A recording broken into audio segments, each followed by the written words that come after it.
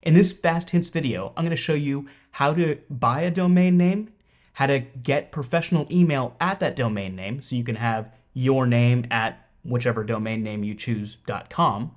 And then I'm also, at the end of this video, going to show you how to connect that domain name to Elementor Cloud. And if you're not familiar with Elementor Cloud, I'll leave a link to it down below.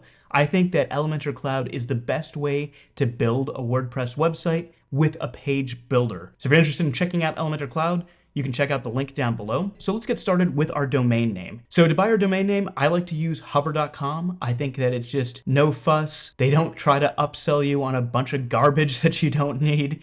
Uh, it's just really simple, great way to get a domain name and get email. So I'll link to Hover down below. And using the links down below is kind of like putting money in my tip jar. So if you appreciate these fast hint videos, I definitely appreciate you using the links down below. And if you are finding this video useful, hit that like button and also leave a comment down below. I really appreciate it. Okay, so let's get started. So first, use the link down below to go to hover.com. And then we want to pick a domain name. So generally it'll be the name of your business or as close as you can get to. I like to use the .com ending, but there are definitely other endings you can use or what they call them in the industry are top level domains. So .com is a top level domain. Down here they've got an example of .me or .shop.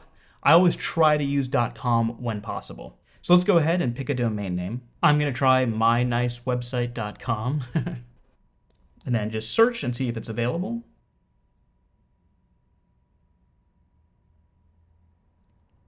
Okay, so I've got mynicewebsite.com and I'm doing this for the tutorial for you guys. Uh, right now it's on sale. Sometimes it's on sale, sometimes it's not, but right now we've got a sale of $14.99 and I'm just going to go ahead and add that to my cart. And you also see here that the price is going to be $16.99 after renewal, so just something to keep in mind. And then we can go over here to our cart. And if you know you're going to have this business for a while, you might just want to lock in that lower price now by adding more years. I'm just doing this as a tutorial for you guys, so I'm just going to buy one year. Down here, we've got the email options. We've got the email forwarding option. So this will forward your email address that you create. So I could create tim at mynicewebsite.com, for example, and I could forward that to a Gmail account I have. That's a good way maybe to get started, but I've found that if you're really a professional and you're using email a lot, Gmail kind of knows that trick and Gmail sells their own email service. So if you get too many emails forwarded like that, Gmail will start to slow it down. And one of the businesses that I was helping, we were doing the forwarding and emails weren't showing up for two or three days, sometimes even longer than that, really wound up affecting the business. So I definitely recommend signing up for a small mailbox here. And so that's what I'm going to do in this tutorial. So this is for each email address that you need. I'm going to go for just one. Okay, and then we'll go to secure checkout. Here you'll just enter in your information and your billing information, and then I'll meet you back after you've paid for your domain name. Okay, so now I've purchased my domain and my email inbox. So we can go to manage my domain. Okay, and so here we go. This shows all of our information about our domain. If you're using a different service, Hover already has some shortcuts for connecting your domain to other services, so you can check out that here. You can also forward this domain to, say, a Facebook profile, LinkedIn profile, or to another website if you wanted to. And then down here at the bottom, we've got the set up your email. So since I've already bought the email address, we can do create an email address. And if you didn't buy the email address originally and you want to buy it now, you can click on this email button and that'll walk you through how to buy an email address. Let's go ahead and set up our email address. So go to create an address. You give it a mailbox name. So I'm going to do Tim, and that will be tim at mynicewebsite.com. And then to see what your password is, you can click on this show button right here. And then we'll do create mailbox. There we go. So now we've created a mailbox. And then to get to your email address, you just go to your account at the top and then webmail, or you can type in mail.hover.com. To log in, type in the new email address that you created at your domain, enter in your password, and then click login. There we go, and now you're in your email mailbox. You can compose a message over here, and it will be from your new domain name.